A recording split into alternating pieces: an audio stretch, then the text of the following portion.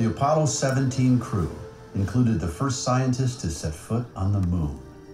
And the astronauts spent more than three days.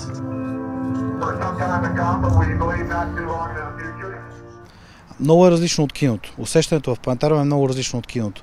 Вътре, когато сте в планетариума, се чувствате като в малка космическа капсула, която е само за вас и още примерно до 12, 13, 14 човека. Целият купол, той е полусфера, всъщност е екран и се прожектират изключително такива много вълнуващи образи. Така че никой не е останал равнодушен от планетариума. Освен това може да се използва и за образователни цели. Филмчетата разказват не само за космически обекти, а включително имаме филмчета за океани, имаме филмчета даже за Индия имаме филм. Могат да се правят изключително много съдържание. В момента това е нещо, което обработваме.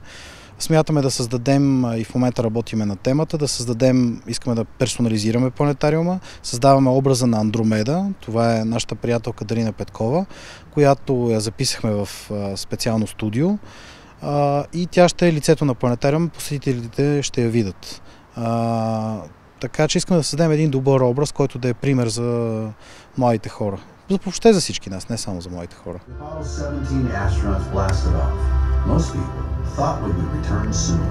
Бих потвърдил наистина, че най-трудното по време на изграждането на този планетариум беше неговото финансиране, защото едно такова голямо съоръжение от най-висок клас, използващо наистина най-новите технологии, изисква доста голямо финансиране. Мисля, че екипът ни е доста добре подготвен от гледна точка на техническите си умения и възможности това да реализира такъв проект, но финансирането мисля, че наистина беше майлстоуна, който стоеше пред нас. Въпреки, че планетариумът е едно доста скъпо съоръжение, екипът ни доста умело, въпреки малкия ни състав, в рамките на 4 човека, всички ние се справяхме с всички задачи. Едновременно технически да се справяме в срок с задачите, също време набираме средства, да се свързваме с фирми и да участваме в конкурси.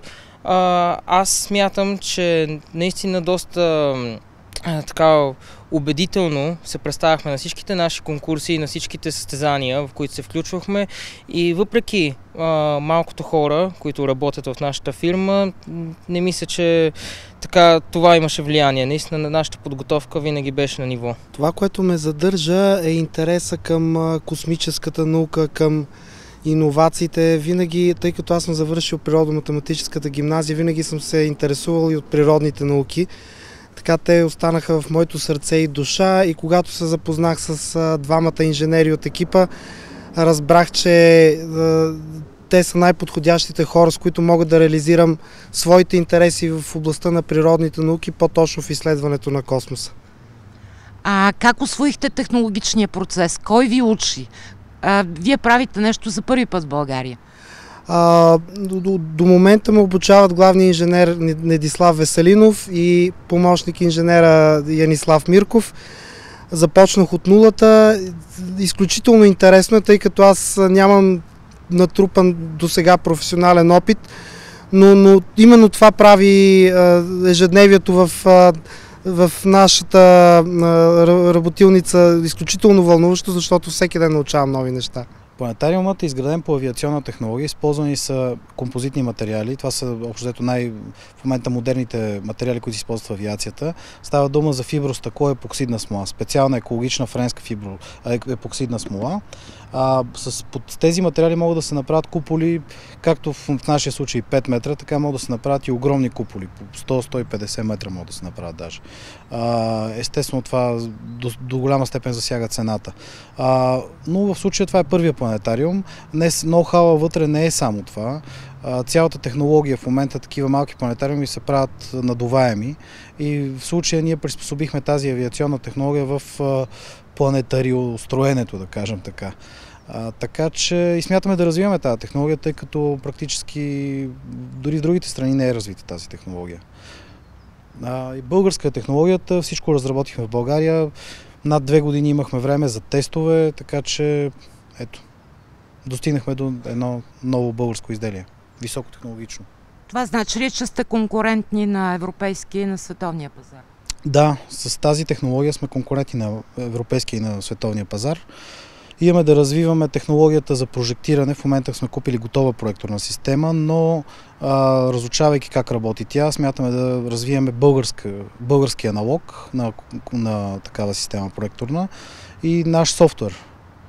Така че смятаме да се стремим към а, изцяло, изцялото, как да кажа, постигане на технологията. Тук на територията на Регионален център за съвременни изкуства по Централа, мисля, че двете аудитории ще се съчетаят много добре, взаимно ще се обогатяват и умножават и същевременно ще се открият нови публики за науката и нови публики за изкуствата.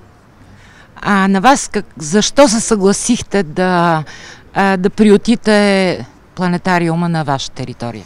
А, съгласих се да приютя тази прекрасна инициатива, защото а, първо някакси видях а, блясък в очите на тези хора.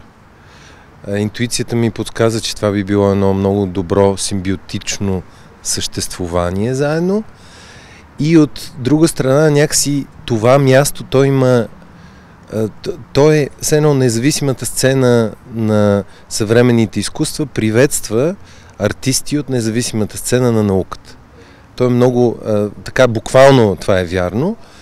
И хора, които са решили по собствена инициатива, по собствен образ и подобие, с нова технология, рискувайки на абсолютно частен принцип, говорейки с хората да реализират една своя мечта, а, дори още не реализирана, тя има право да е тук.